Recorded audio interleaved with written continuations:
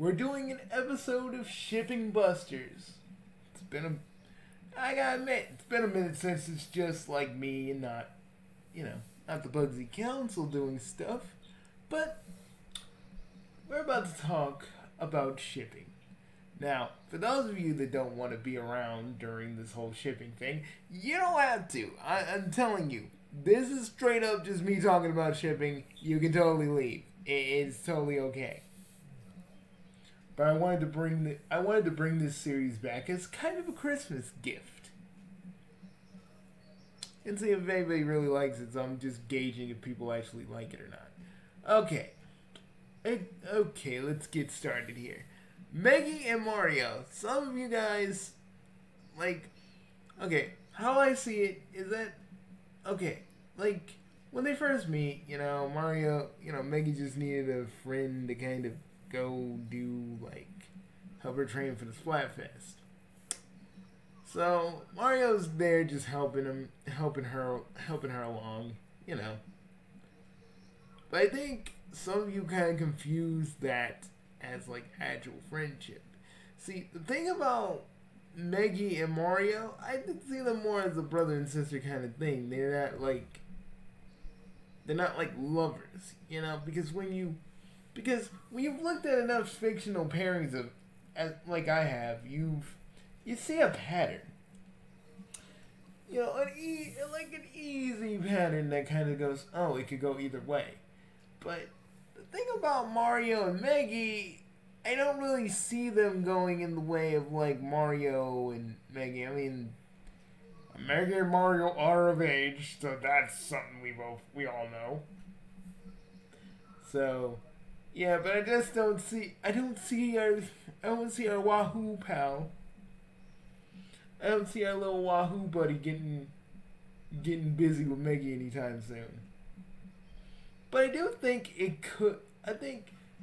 I think there have been a few moments that could that could probably push that into question. But I really doubt like any of. I doubt that Mario and Meggy could actually be a thing. Well, I guess I could go roll. I guess I could go roll credits, right? No, no, no, no, no, no, no, no, no, no. But you know, let me let me kind of well, hmm. Let me go. Let me go hit you with my own scenario of how this would work. Now, this wouldn't be this wouldn't be a simple feat. You can't just you can't just force attraction you can't just force attraction, guys. It has to be earned. Now, I'm not saying Mario has to like get you know get fucking just get straight up naked to get Meggy to go. Oh my god, I want some of that Italian action. no, no. I'm thinking Mario. Mario. Um, there'd have to be like a Mario situation. There'd have to be a situation where Mario saves Meggy. And I'm not talking like the usual kind of saving where, you know, Mario helps her get out of the way. It had it would have to be something major. Like Mario would have to actually get hurt, hurt. Like not enough to not enough for him to die, but enough for him to get injured. Okay, so we're not doing a we're not doing a Melanie and Axel thing because I'm just like, no. No. And yeah, we will be talking about Axel and Melanie pretty soon. That's gonna hurt me, guys. That's gonna be next year. That's gonna fucking hurt. But let's let's, take a minute. So you're probably wondering to yourself, well, Bugsy, like how would this happen? Like let's say, let's say, um, old Malice Peach sees the new castle, right? Sees the new castle SMG4 made. And maybe, just maybe, and this this is assuming that Peach kind of still cares about Mario, but there was that one video that kind of said that uh, well, Peach dragged Mario away for, well, I can't say it on I can't say it on YouTube, but let's just say it was a tea party a very special tea party. That was only in that one video. But like, so that's like probably like a one-off. But like, let's say if it wasn't, all right? Let's say since they all ditched Peach after It's Gotta Be Perfect, maybe there were always maybe the fact that Mario almost died. It it makes Meggy care about him a little bit more. It makes Mario care about her a little bit more. But you know, neither of them say it because well, Mario's Mario's an idiot that can't really truly express himself that well sometimes. Sometimes he can, sometimes he can't. But let's say in this particular instance, he really can't. Like because he's so like let's just say let's say Mario remembers all the times he saved Peach and how he never got any anywhere with her to an extent. Except for that one, except for that one time, which are, which I would say would be like, and I which would be a, one of the few times Mario actually gets, uh, you know, gets a little. In the terms Mario Bridge series, Mario finally gets that ragu. All right, but he but Peach doesn't really reciprocate those feelings in the SMG4 universe. You know, Mario's always like a freeloader, and since Mario's been dumb ever since SMG4 came around, he's basically, you know, Peach kind of starts seeing Mario a little differently, and that's where that goes. Once, once her protector now just kind of an idiot that hangs around with the with the with the meme man and his, and his wacky little friends. Now, fast forward. Fast forward to Malice Peach for a minute. Let's say she does attack the castle. And Mario and like let's say Meggy tries to fight Malice Peach along with Melanie. Melanie is Melanie is is fighting her off, but she gets knocked back. She's powerful because you know fierce deity mask. So, but somehow she's able to get knocked out. Maybe the maybe maybe Peach's mouse is way stronger than the mask and just kind of slams Melanie's you know fierce deity form. Freaking unbelievable as that is, but let's let's go with this. So, Mari, so like, so Meggy tries to fight, tries to fight Malice Peach, or whatever the Peach mon, whatever we're calling that Peach monster. I think it is Malice Peach, but just so Peach basically goes for Meggy. And for some reason, Peach is really transfixed on Meggy. None of us, like, you're looking at this and none of us know why. And then, like, Mario, literally, without saying a joke, without doing anything or talking about his pingus, he he blocks the attack from Peach, which would probably be either a claw swipe or some sort of energy blast. Somehow Mario like blocks it, but he injures himself. Which makes Meggy go into a fit of rage where she literally unleashes a little bit of that energy for a little bit. Let's say she gets a new power. Let's say she gets a power up. It's like a rage thing because you know sunshine, you know, sun was it Sunshine Paradise? Like she like had the little had the little like depression like little the little voice in her head her depression kind of kick in. But let's say that was an actual like power. She fights Malice Peach, which gives fights on Malice Peach enough, but she isn't really that strong. But it's enough to blow her back a little bit. Melanie, Melanie weakens her, which makes Malice Peach walk, which which makes Malice Peach slink away, growling, and you can kind of almost hear her say, Meg, Meggy. So, so she's like she's gone. SMG4 is just checking on Mario because he's just like, oh, Mario isn't dead. Okay. But Meggy is like, Meggy is like consolable, like, Red, why did you, why did you do that for me? It, you know, and Mario doesn't really say it. He just goes the usual, like, you're my friend. Yeah, I'm not having Mario just like announce that he loves Meggy because we we can't like literally do that. Okay, okay, we gotta make this natural as possible.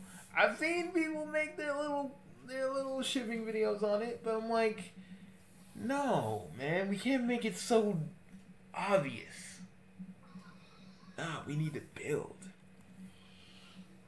Because if you want to make a romance between two characters, you gotta build. It's like, well, from, well, I would make a Lego. I would make a Lego, Lego metaphor, but it's like, okay, if you ever see, like, you're gonna see me play Minecraft uh, next year a lot on my channel and on the and on the website. Yeah, because super because Super Block World. So you're gonna see a lot of that. And the thing about that is the thing about that is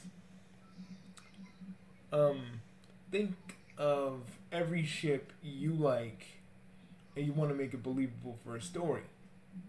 Think of it as, you know, you're building something in Minecraft, but you gotta have a good foundation. You can't have something that is you gotta have something that is too weak. Because if it's because if the foundation is weak, no one's gonna believe that Meggy and Mario could be a couple. And you're probably like, well, Bug, well, for all the people that don't care, you're like, well, Bugsy, this is stupid. And I, and to you, to you, my, my probably not existent viewer, that is like, what, like what the actual, like what the actual fuck. But listen to me, listen to me, listen to me, listen to me. I told y'all mother, I told y'all motherfuckers to get out. Okay, I told y'all to get out. No, I told you. Yeah, I told you. I told you guys. Get the, you know, get out. Just, just get out. But if I gotta, if I gotta, if I gotta pull out the gun, guess I got to.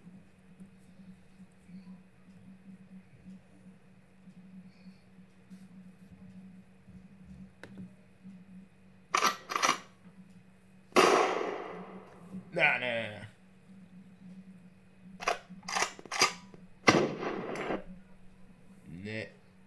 Where, where my, where my Uzis at? Yeah, get the fuck out of here. This is this is for shipping. Chill.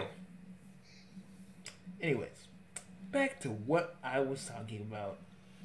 So, now that that's taken care of, I'm bleeding. Uh, let me just, guys, hold on, hold on, hold on. Someone needs, someone needs the sweet release.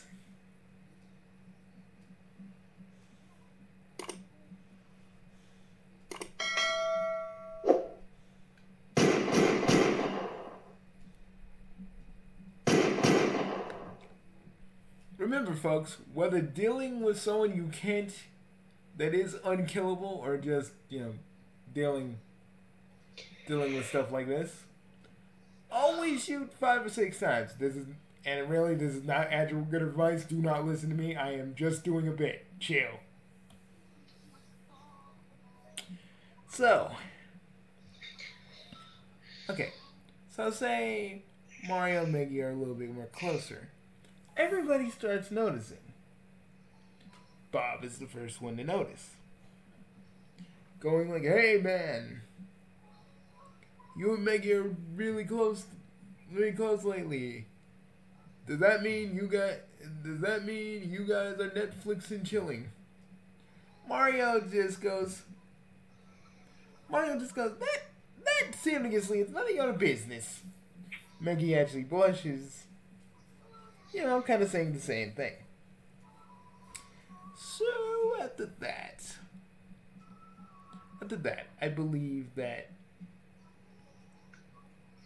After that, I believe that Meggy and Mario get a lot closer, and maybe if you guys want it, I would probably do more little stories like this to kind of actually explain a little bit more. But let's let's um let's fast forward just a bit. So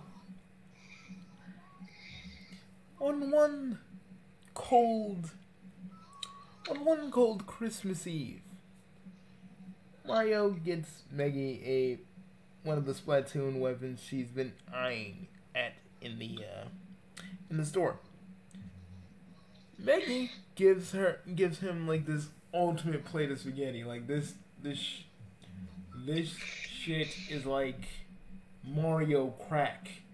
Like it's like it's like Super Mario fucking crack. But Mario looks Mario looks at the spaghetti. He's like Meggy, it's good, but I have something to tell you. Now I, now I know this this really isn't. Now this really isn't easy for me to say, but I, I, you know, we'll just have him like struggle for a bit, and he just says, "I love you," like I, I love you. Meggy is kind of taken back, but she, you know, deep down, she's kind of wanted this for a while. And she's like, uh, well, she goes, well, I do too, but where do we even go from here? And like Mario's like, you're telling me I, I, I mean, all my, all my life, I've been helping out Peach. You know, hoping that one day she would see me for what I was. But, and this would be the rare moment for Mario actually like has fucking intelligence. But let's just let's just get it. Let's just say, um, he, you know, let's just say maybe we play into the whole Mario, Mario isn't dumb theory, and he just kind of like just gets a little articulate, and it's like when I. I mean, I'd spend more time with you. You dragged me to so. You dragged me into a lot. You dragged me a lot through like Splatfest training, and we we fought some pretty horrible things. And I've gotten closer to you as a result. So, I mean, Mario doesn't really know where to go from here because if you actually reciprocate my feelings, I don't know where we can go with this. Meggy just gives Mario, Mar- looks at Mario's eyes deeply. Her,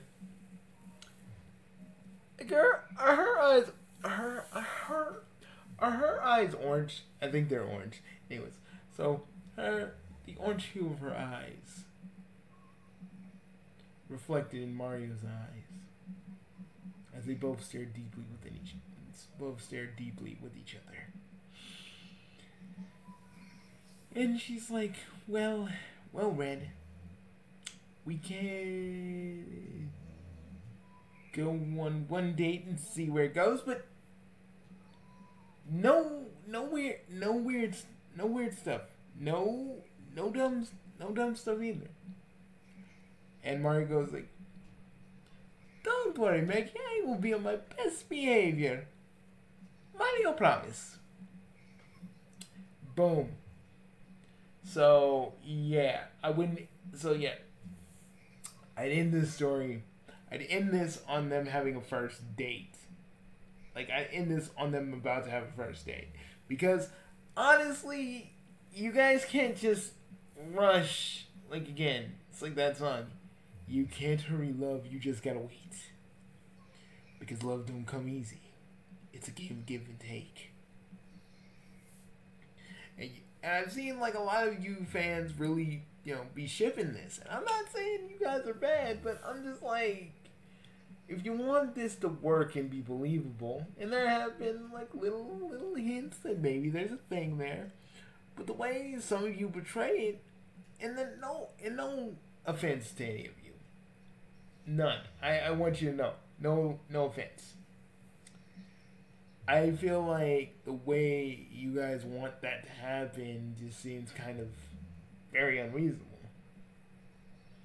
You gotta like to me, you have to know which universe you're in. You know, gotta remember what universe the SMG4 universe is in, and really just start playing with that. And yeah. But yeah, do you think? But you're probably like, will we ever see them in the Bugsy Council? No, I can't tell. I can't tell you everything now. If they were new recruits of the Bugsy Council, that means I could just do more stories with them. But maybe they are, maybe they're not. Maybe they're new recruits. Who knows? Who knows? If anybody wants to know more about what more about Meggy and Mario's first date, you know, like this video. And this will also be on my website as kind of a simulcast, in a sense. I mean, seriously, can I really call it a simulcast when like my website is hooked into, hooked into my, like my website is hooked to my channel and vice versa? Man, I'm calling it a simulcast. I'll see you guys later. Peace, and remember, folks. And is this ship busted? Before I go, no, it's not. I just feel like shit has to be built up before we can definitively go. We can definitively go into that direction. And to me, even though they may have a few moments, things have to definitive, definitively get built up. Also, the the render that you are seeing was made by Rico Gamer Boy. I want you guys to really I want you guys to you know watch you know, give them a watch on DA. Tell them hey. Tell them hey. Uh, this is some good this is some good artwork. Keep it up. You know? Be like Yo, leave him something like that. Leave him something nice.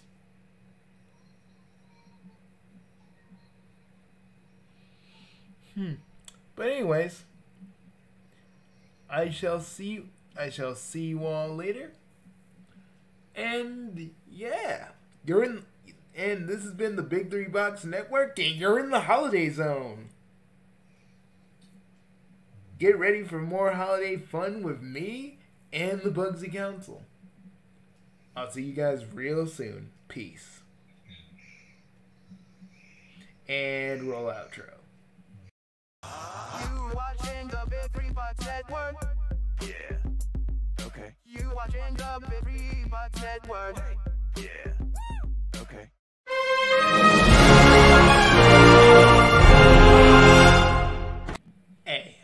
Bugsy No Name here. Wanted to just say, um, you should check out my website. Right now, we're work I'm working on a new feature where everybody can binge my YouTube content in one in one fell swoop. You don't have to go anywhere. Just click the chaotic click the chaotic binge tab on my website and then boom, all my YouTube content is now free for you to look at. Well, it was always free, but you can watch it all in one place. Also, there's gonna be more stuff in the cha- the chaotic binge tab, so keep an eye on that. Actually, you can watch all the other videos from the website that YouTube would never let me show, even on a good day. And uh, you know, I really want you guys to check it out.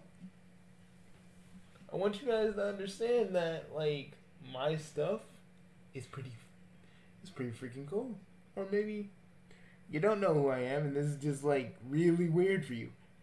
For those of you that don't know, hi, I'm Bugsy. You should really check out and and let me just say this. My videos on my website aren't for aren't for the um, they they ain't for your wee ones. They're for they're for 18 and up. So you need to know that. Like seriously little Timmy, get get off my website. You don't need to be seeing that. I don't want to get weird calls from your mom saying that my saying that my voice is sexy. Just I don't need that. I don't need that. But anyways, go check out my website. And you're probably wondering, when will we ever see you again? Ah, my, ah, my dear friends, you will see me again because on, because on the website, if you go to the Big Three Box Network TV tab, and you look at, and you look for Bugsy No Name stuff, that's where you'll see me, the guy behind all this stuff, talking about whatever I want. So I'm never truly gone. I'm always around. But I shall see you all later. And, and also enjoy the shipping buster video.